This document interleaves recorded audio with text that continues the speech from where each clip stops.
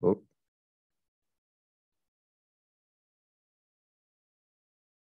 Welcome, everyone. This is September 19th, 2022. It's Jenkins Governance Meeting.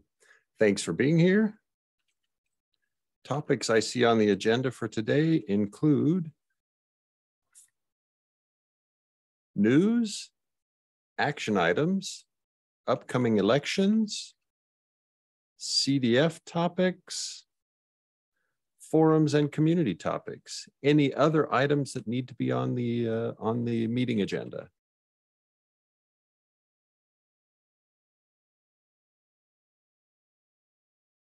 Okay, then let's go ahead and get started with the with the news topics. So Jenkins 2.361.2 release is scheduled for October 5. Chris Stern has volunteered to be the release lead. The release checklist is open. The backporting pull request, at least the first backporting pull request has been merged. Uh, and a changelog draft pull request or changelog pull request has been submitted. Thanks to Basil, thanks to Kevin Martens, bunch of progress. Um, additional item, Hacktoberfest is coming. Welcome to Preptember. Uh, Jean-Marc Meessen has posted a blog post and preparations are happening in the UX SIG, the Doc SIG, and in other places to be sure we're ready for Hacktoberfest. Uh, if you didn't see the recording of the UX SIG's last UX meeting, you should probably watch that. That's the third highlight. Uh, Jan Faracik and Tim Jacomb are preparing a presentation that they'll give at DevOps World on some ideas they've got for a major change to the Jenkins UI. Uh, and Tim noted, Gavin, I think you'll be delighted with this one.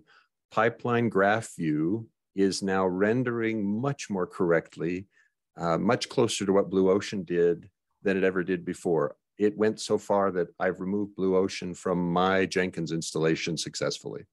And I'm happily using Pipeline graph view instead of Blue Ocean to render pipelines.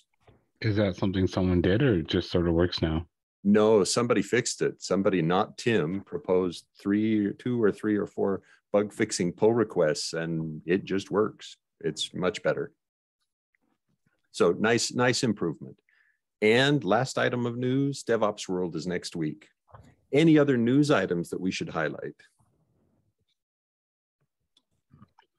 Well, there was CDF mini summit at the open source conference. Uh, there was uh, one presentation about the Jenkins there, uh, mostly about uh, uh, pipeline libraries and uh, all the ecosystem for Jenkins at scale. the recording should be already live. So, and did I get that? It was at the open source summit? Uh, yes. So it was open source summit uh, in uh, Dublin. Ah, okay. Thank you. So the presentation was by Fidelity, if I recall correctly. Great. Thank you. Uh -huh. All right. Any other items under news? Okay, next topic then was action items. Um, I'm, I've made no progress on community.jenkins.io as the replacement for the DocSig. Uh, it's going to be a while yet because I've got to get ready for DevOps World. And after that, I'm taking some, some holiday time to go vacation. Uh, next was request full access to the CDF Zoom account. Gavin, you indicate you we've got a group now. So I just need to contact Michelle and ask her to add that group. Yeah, I literally just created it because I forgot to do it last week. Well, thank you because I'd certainly made no progress on it. So I will I will reach out to Michelle with that request and thanks for thanks for helping that any other action items that I may have missed in previous notes or things that we need to discuss as action items.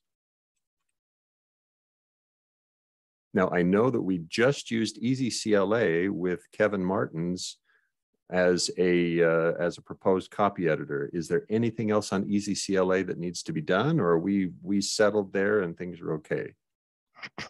Uh, we still need documentation. Okay.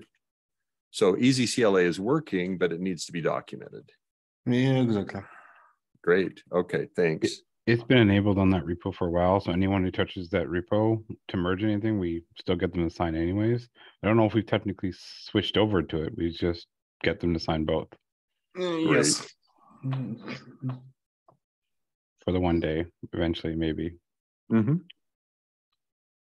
So for me, it's mostly the documentation part. Uh, during the first pass, uh, I cleaned up everything, including mailing lists uh, that uh, were no, longer- no longer used, etc. But the guidelines in the central repository are still not what we would like to have for EasyCLA.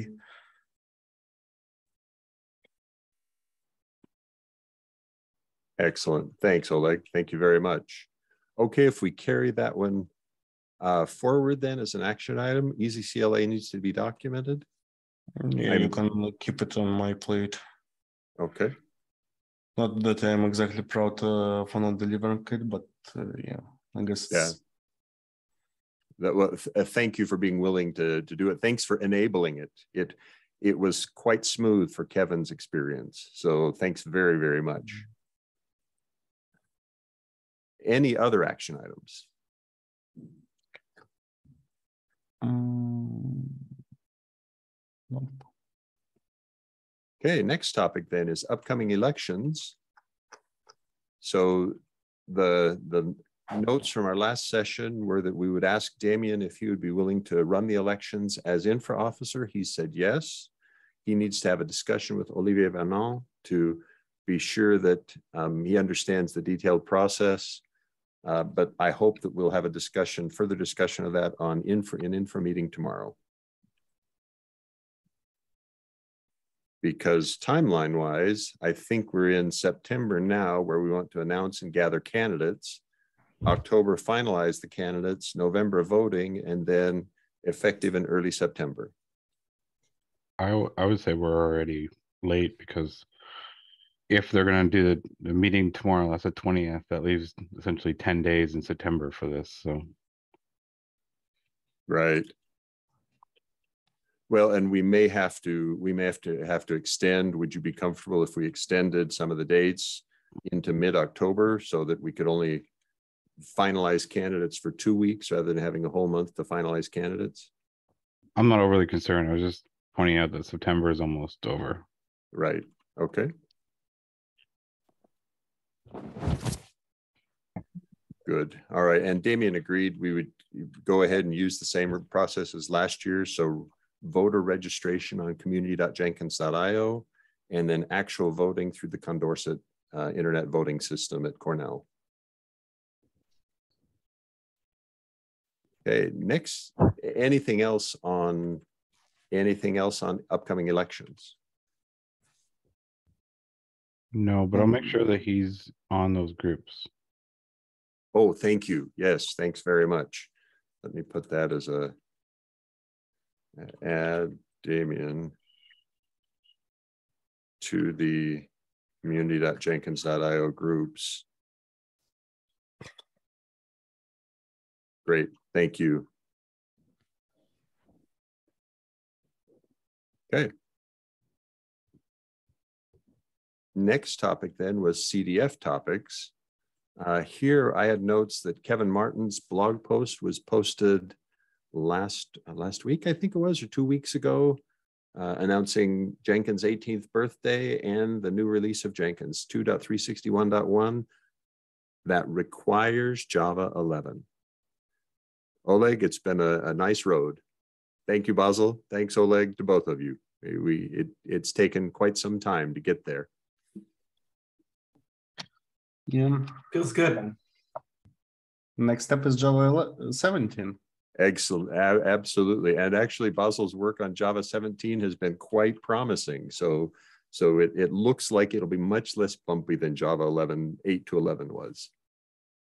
We had, I think, 6,000 users in August on Java 17. So I'm hoping to get to 10,000 by the end of September.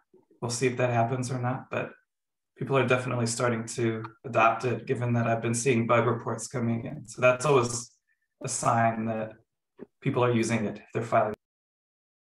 We, we have to tell a lot of people use 17 instead of 18. We get a lot of people on the forums and chat saying, I'm using 18, it doesn't work. We're like, yeah, Right. it's because we didn't say it would.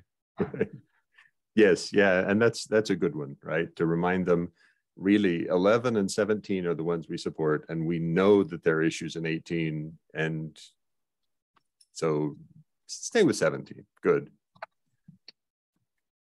Is the So requirements page updated? It it is. Yeah, Okay. the requirements page is definitely updated. Kevin Kevin Martin submitted a pull request. Basil reviewed it, and we merged it the day that we released that. Okay, so we officially 11 or 17. Exactly right. Okay, because I think we've been all telling people 11, if you want to try 17, it should work, but we're not supporting it yet. But yeah, it looks like seven, 11 and 17 are official, That's correct. official, And official. and and we we intended for them to be official the testing was very positive no it's not been exhaustive but as Basil noted 6000 users is a good 6000 controllers running it is a good a good mix next topic then was jfrog uh, we've got jfrog working with the jenkins infrastructure team to reduce data transfer i guess i should also note and to prepare for a move of the of repo from one provider to another. Now that should be relatively transparent to us. Uh, but they're moving, they, the system that we're running right now, repo.jenkinsci.org is relatively old and is somewhat of a one-off for them. They'd like us to be on the similar kind of platform as they use for all the other open source projects that they sponsor.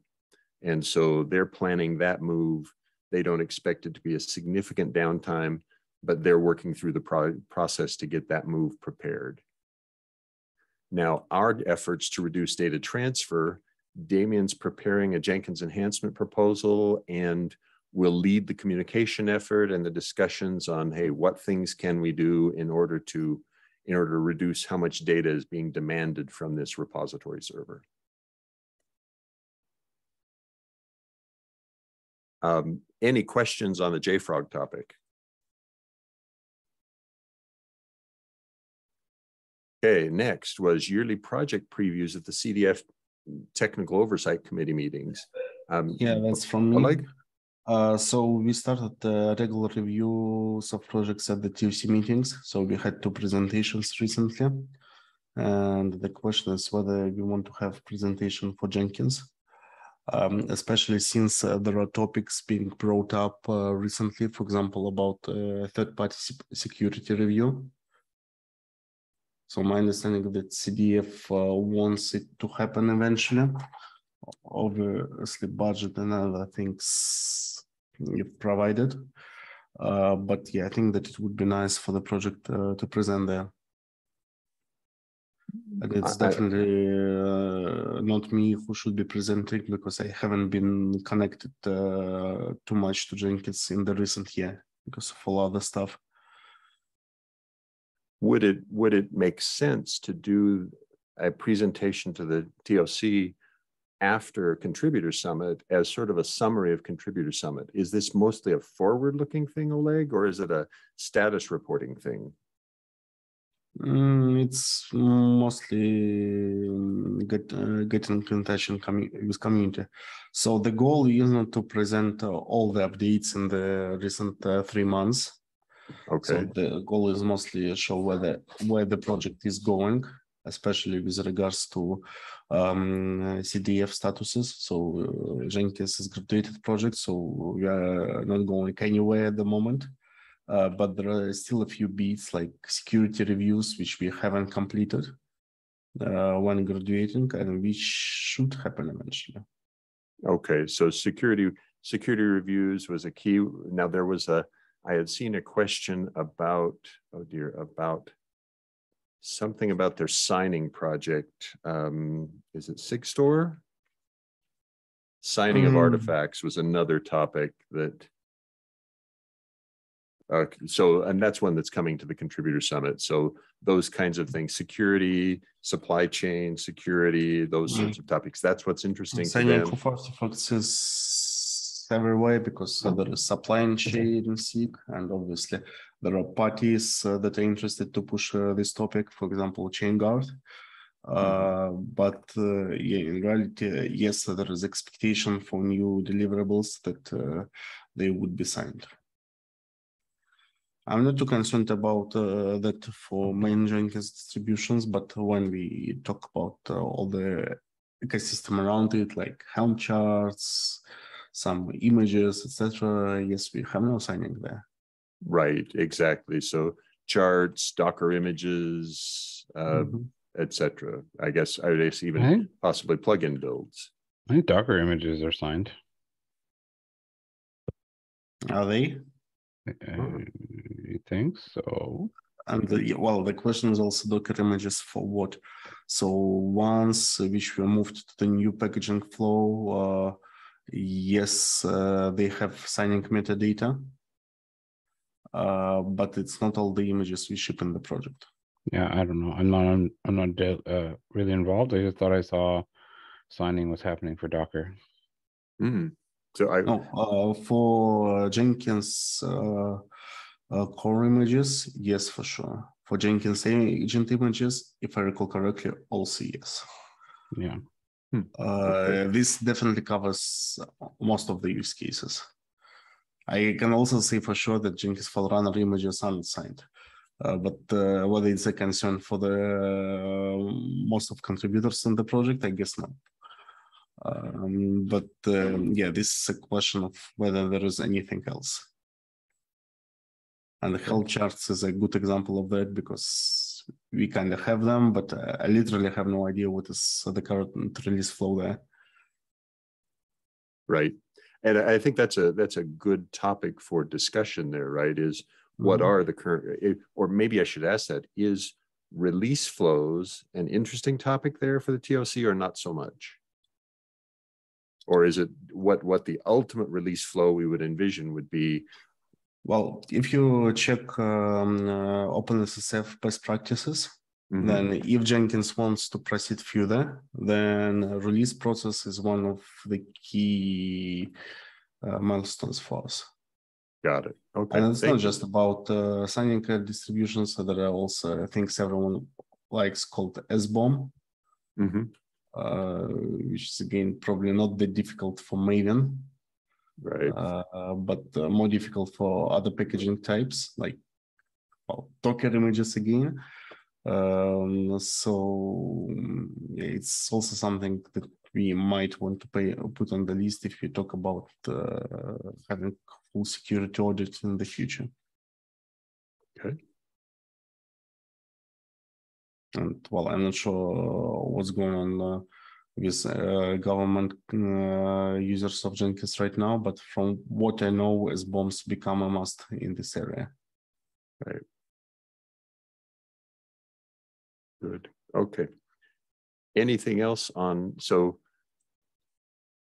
anything else on that in terms of when, how frequently are the TOC meetings and what would it take for us to get on the agenda, et cetera, like?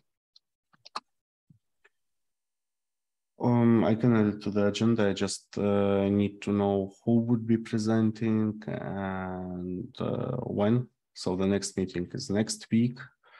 Uh, next week, uh, I guess it's not a good option taking DevOps World, but yeah, two weeks after, it's something that could be used.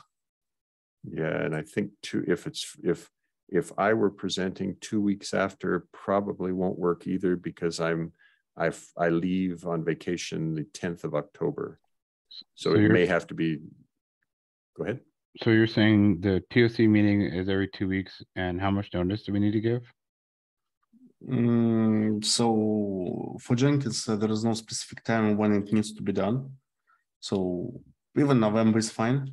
It's just some something that Okay. would make sense. Let me let me rephrase. How early before a given meeting do we have to let the committee know? Is like one meeting a- ahead, two meetings ahead, one day ahead, Well, one two, hour two ahead? meeting uh, ahead, two meetings ahead is definitely a safe timeline. Okay, So basically, it's uh, the same as in Jenkins. Uh, yeah, we uh, park in topics until the agenda is full, okay. and well, it's rarely full. So you know, nothing really specific to this uh, meeting. Because when someone's available is less important about how do we get it on there when someone is available. So Right. So yeah, uh, the one in th- three weeks is definitely available. The one is in five weeks is also available. Uh, one thing that uh, for five weeks uh, there will be KubeCon. So there will be much less people, but I will be around to host it if needed.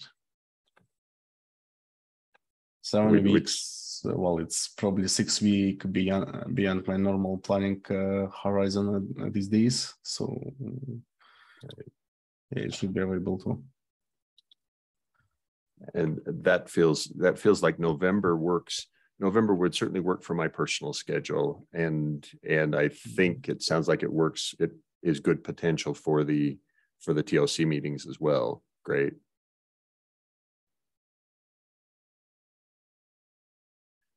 Anything else on CDF topics?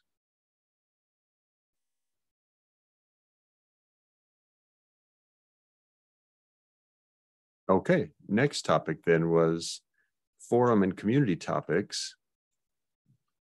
The items I had were that the contributor summit will be September 27. Agendas available from this Google Doc. Uh, and uh, we're thrilled that Tim Jacomb, Jan Faracik, Uli Hafner, Alex Brandes, um, several others, so Damien Duportal, me, um, Vadek will, will be there for that summit. It looks to be a, a very good summit. Uh, we'll capture the notes and share them afterwards. GitHub project actions from Google Summer of Code was an open question two weeks ago, and we don't have a, a conclusion on it. This one was specifically asking uh, what would it take to register the Jenkinsfile Runner GitHub action under under a GitHub action with some registration process? And I apologize, I've done no further work on this. Are there others who have anything to report there? Mm, well, it's basically me who recommended uh, to bring it up uh, to the community. Mhm. So I guess it's me who also should have responded. But what uh, needs to be done for every organization, we need to basically sign an additional agreement, which is super straightforward.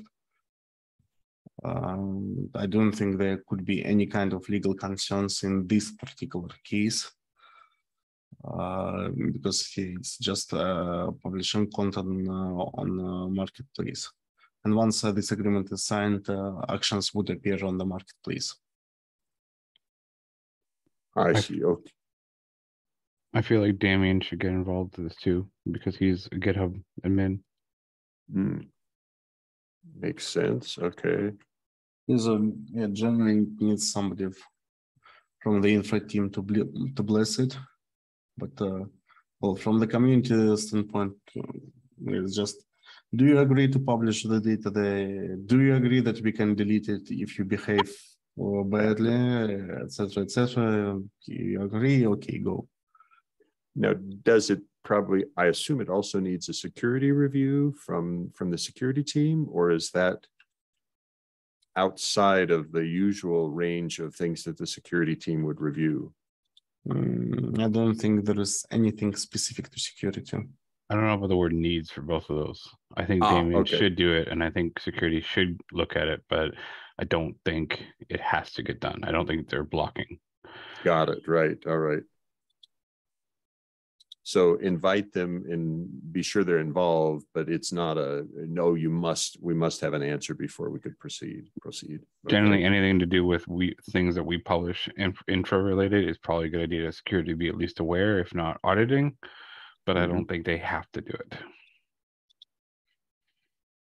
Good, all right, thanks, all right. or for anything we publish might be interesting to know uh, how we expect to handle reports of security issues that are coming in to make sure that Yeah.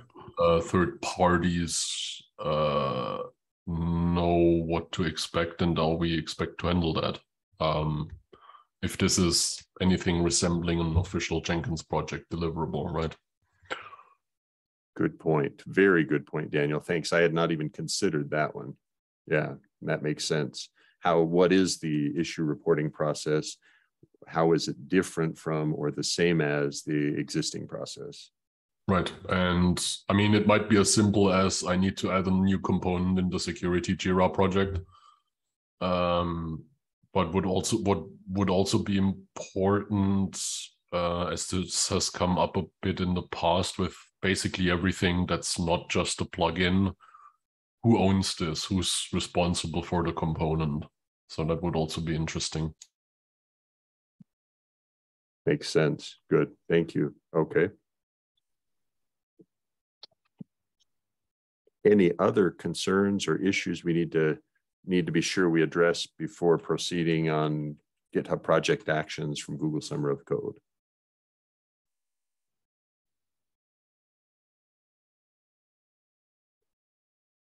Okay, next topic then was um, progressing towards a single chat, a single chat interface to multiple chat destinations. Gavin, you want to share with us what your experience has been there? Um, I didn't know this was going to be ongoing, but oh, um, sorry. So I did infra and I did releases. So the IRC, the Gitter, and the matrix rooms are all linked up into one spot now. Um, I haven't heard any complaints, but I also don't know how many people are using them. So yeah. Um, the, the key thing here is that I think there might have been confusion earlier. I'm not linking all IRC channels to one spot, all Gitter channels to one spot. I'm only linking the verticals across one, right? Making it a horizontal link. So all releases channels will be to, together, all info channels will be together. Eventually, the uh, Jenkins IRC, the Jenkins Gitter, and the Jenkins Matrix will be together, but I'm not making them all one giant room. Got it. All right. So thank you. Thanks for the clarity. Okay. So, and how would I get access to that matrix channel? Is there a URL I connect to? Is there? Yes. But the, the, the key thing is you can you can use whatever you like. So I know you like Gitter, so you can use the Gitter URL, and then I'll speak to the matrix and the IRC the same. Although I have noticed there's a tiny bit of lag, so like three or four seconds when a message goes through. Nice. I, okay. I can. I can so it, it really is providing bidirectionality into and out of IRC, the releases channel, and if there's a Gitter releases channel, it's they they see each other thanks to yeah. this matrix. Yeah. So matrix is the central, and they have bridges to either side.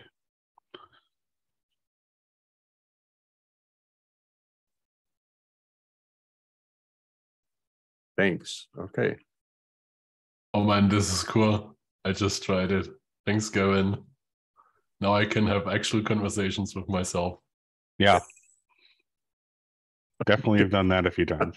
I'm not sure that was the objective, but I like that. That's great. It's a, it's a uh, it's a win, right? That's let's call it a win for that. Excellent. Well, and and thank you sincerely thank you very much gavin you've been you've been absolutely wonderful at working on communication channels and making think making things just better in general any other forum and community topics that should be should be brought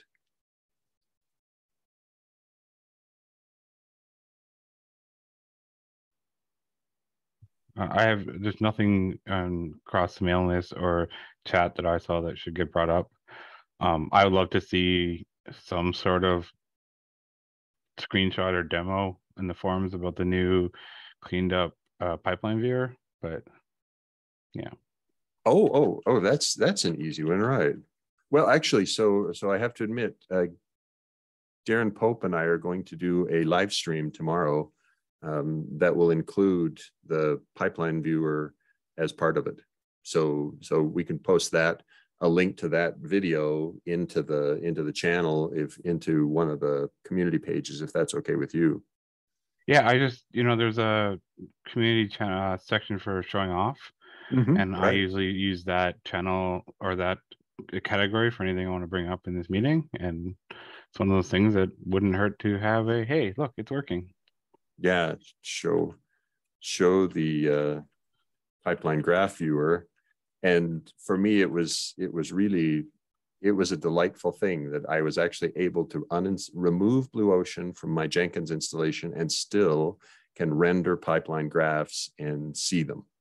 I'm not as thrilled with the log viewing experience, but it's it's workable. So and the big reason I wanted to make sure that we mentioned that plugin, like when we are doing the the Blue Ocean docs, was mm-hmm. because it's um, contributable. Blue Ocean is not.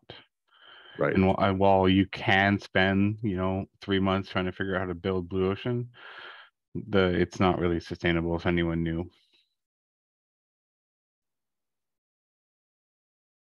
Good. Yeah, and the fact that we've already gotten community members to submit bug fixes to the, the new plugin is some good evidence that it is more approachable, which is really a positive step. Agreed. Thank you. Yeah. Any other topics for for the community forums? Okay. So I got all all the the rooms and the things. So infra and releases are done. Um, some point I'll do the others, but I just wanted to see how well they work before I touch them again. Anything else? Regarding uh, chat, uh, would it be a good idea, I think, uh, to update Jenkins.io slash chat, so the documentation there, especially if, if we're doing linked channels, I think that entire page needs an overhaul because right now it's basically split by technology, or I don't know. Um, I just thought, you know, this might need some documentation. Basically, there's the release chat, and whatever technology you're using, you can join it via yeah. these methods. That sounds a good plan. I don't know. I don't have immediate goals to do that, but if anyone wants to start working on it, I will gladly help out and polish and edit and stuff like that. Yeah. So I I think we ought to beg Kevin Kevin, if you're, uh, would you be willing to to at least explore it? Yeah, I was actually, uh, yeah, figuring it was going to be uh, something I'd help out with anyway. So of course. Great. All right. And then once we get this working, like once this is working reliably, no one has any major complaints, I'll go back to the matrix and Gitter people and be like, here's our list of all the rooms and we want to migrate all of them. But I figure these are somewhat easy, low traffic ones that didn't involve the entire community to start with. Great. Any other topics for today? Mm-hmm. Okay, thanks everybody.